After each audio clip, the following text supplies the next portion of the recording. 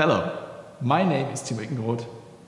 I am product specialist for electronic drums for Pearl Drums Europe.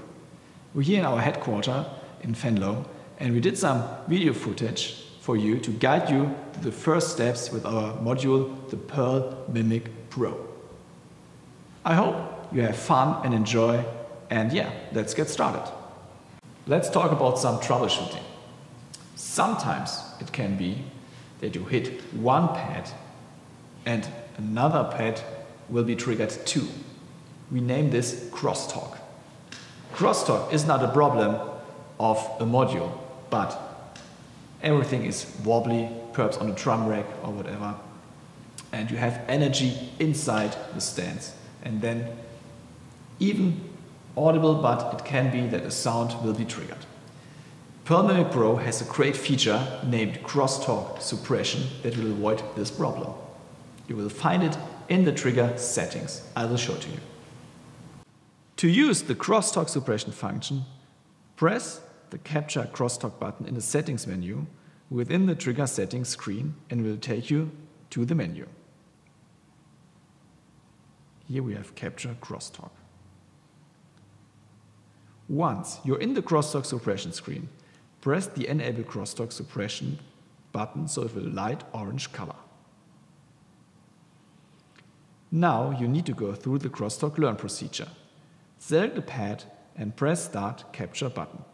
We take the snare and we start capture for head and bow. I have to make five hard hits on the snare drum. Again, I have to wait until the bar is down again. Second hit.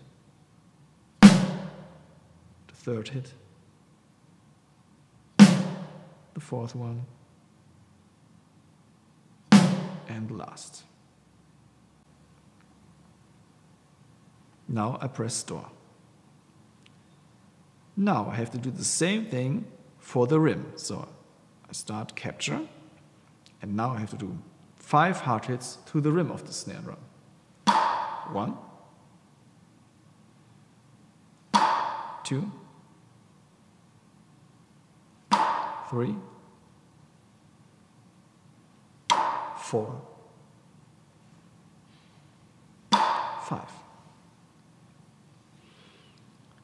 After you've done this for rim zone, you have two options. First, store and exit which takes you back to the crosstalk screen. Second, store and go to next pad, which takes you to the next pad so you can capture the crosstalk for the remaining pads.